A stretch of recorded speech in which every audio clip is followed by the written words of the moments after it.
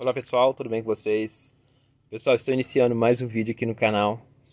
Hoje eu vou mostrar aqui para vocês a minha patinha de urso. Lembrando que eu estou cultivando aqui na estufa, ó. Que é uma estufa de PVC, para quem não sabe. Para quem está chegando agora aqui no canal. É uma estufa que eu fiz de PVC, pessoal, ó. Então, pessoal, voltando aqui, mostrar para vocês patinha de urso, olha como tá bonita na estufa.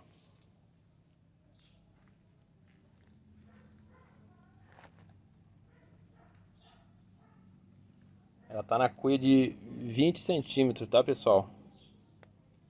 Ah, vou falar um pouquinho sobre o cultivo dessa espécie. Vocês repararam, ela tá bem gordinha, tá muito bonitinha, ó. Olha como tá bonito. Parece muito com a patinha de urso mesmo. Então é isso aí, pessoal. Se você está chegando agora aqui no canal, deixa aquele likezão. Deixa o like, se inscreve aí no canal. Ativa o sininho de notificação para você ser notificado toda vez que eu lançar um vídeo ou até mesmo uma live aqui no canal. Lembrando que eu vou estar fazendo vídeo todos os dias falando sobre o cultivo de cactos e plantas suculentas. Hoje vou estar apresentando aqui para vocês a patinha de urso, falando popularmente para você estar conhecendo, né? esse é o nome popular dela. Mas lembrando que ela tem o um nome científico, eu vou estar deixando na tela aí para vocês embaixo o nome científico dela. E dá uma olhadinha na descrição também que eu vou deixar algumas informações referente a ela, tá pessoal? Muito importante.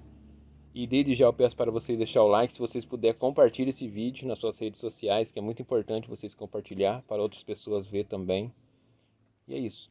Hoje vou falar aqui sobre a rega, a, o fertilizante e também substrato, que é alguma das coisas que as pessoas perguntam bastante.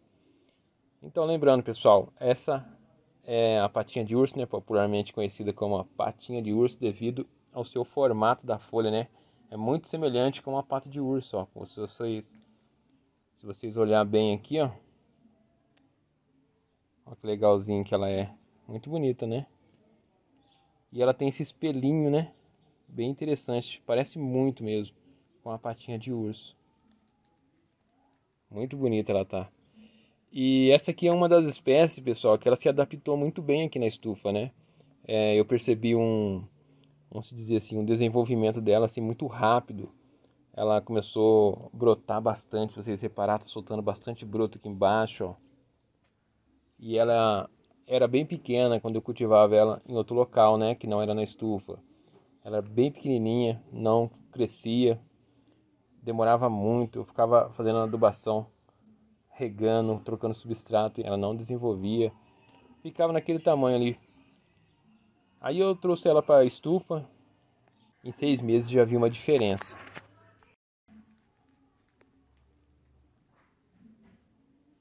E uma outra coisa, pessoal, é, se você está iniciando no cultivo de cactos e plantas suculentas, eu recomendo vocês cultivar essa patinha de urso.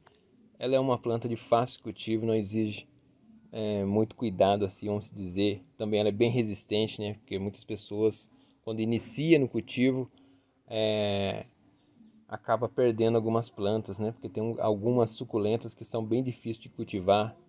A gente tem que seguir algumas regras aí para não estar tá matando a planta. Mas essa patinha de urso aqui é uma planta bem fácil de você cultivar, não tem muito segredo. E é isso. E e é isso, pessoal. Então, para você estar tá cultivando essa planta aqui, você vai seguir o mesmo padrão das outras plantas suculentas, né? É, então, em primeiro lugar, você tem que deixar ela pegar bastante luz, sol, é, adubação a cada 30 dias é muito importante. É, o NPK 10, 10, 10 é o mais recomendado, né? Ele tem 10% de nitrogênio, 10% de fósforo e 10% de potássio. É, essa aqui é uma planta, pessoal, que ela gosta muito do calor. Eu percebi isso. Por isso que eu estou aqui fazendo esse vídeo, falando para vocês. Aqui na estufa, agora exatamente está batendo mais ou menos 37, quase 38 graus aqui na estufa. Está muito quente aqui. E ela gosta bastante do calor. Ela começa a brotar. É, elas adoram o calor. Então é importante quando você for cultivar essa planta, você deixar ela pegar um pouco de sol. Como eu falei para vocês, Aqui na estufa não tem sombrite, ó. O sol vem direto pelo plástico. É, basta você deixar ela pegar um pouco de sol, né? Deixar ela pegar um sol aí, mais ou menos duas, três horas de sol por dia. Ela tem que estar num local bem claro, um local bem iluminado. É isso é muito importante que ela gosta. E um outro segredo também é você ter um substrato de qualidade, tá, pessoal? Lembrando que meu substrato aqui tem cinco misturas, é um substrato que eu estou fazendo um teste, que eu falei para vocês nos outros vídeos anteriores que eu ia fazer um substrato diferente para poder estar tá cultivando aqui na estufa. É casca de arroz carbonizada, tem areia, aqui também tem fibra de coco, tem vermiculita e também tem terra vegetal. Então tem mais ou menos cinco misturas e também tem um pouco de carvão triturado. Então é isso, pessoal. Eu coloquei bastante mistura assim para ficar um substrato bem concentrado e para quando eu efetuar a rega, ele vai manter um pouco mais a umidade, mas não vai ficar tempo. Ele vai manter um pouco mais que os outros substratos. Por quê? Porque aqui na estufa é muito quente, aqui é bem quente, então aqui precisa ficar um pouco mais úmido. Por isso que eu faço a rega aqui na estufa sempre à tarde, porque à tarde é mais fresco, já está mais fresquinho do fato dela ser uma planta suculenta que ela não precisa de água. Precisa sim, tá, pessoal?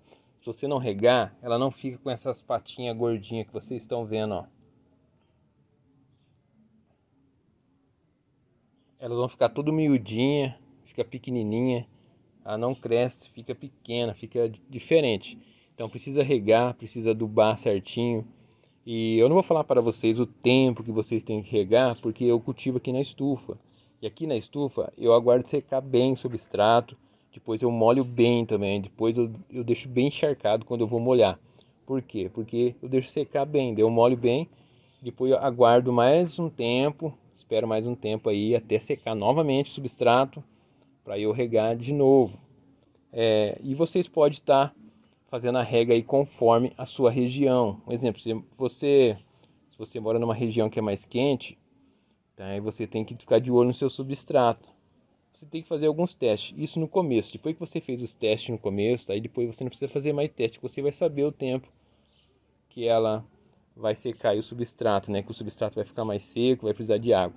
O ideal é você fazer o teste utilizando um palito, fincando no substrato, ver se ele vai sair sujo, se ele sair sujo porque está úmido, se ele sair limpinho porque já está seco o substrato. Aí você tem que efetuar a regra. E se você vai fazer isso, não é todas as vezes, tá, pessoal?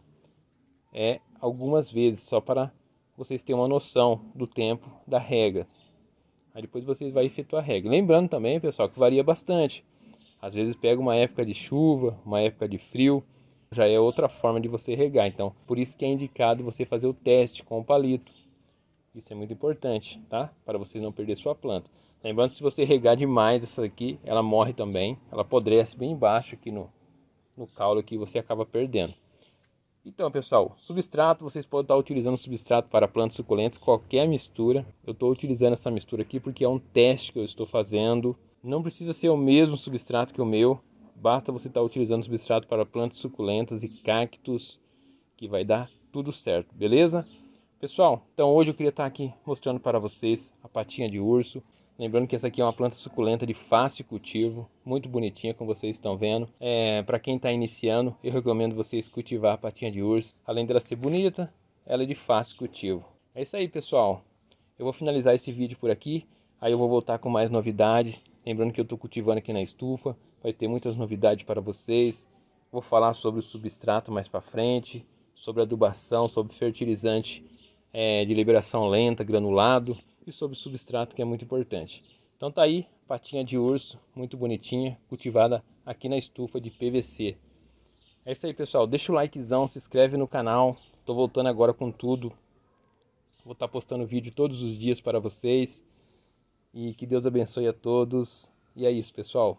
E se eu esqueci de alguma coisa, pessoal, vocês podem deixar embaixo nos comentários que eu vou estar respondendo.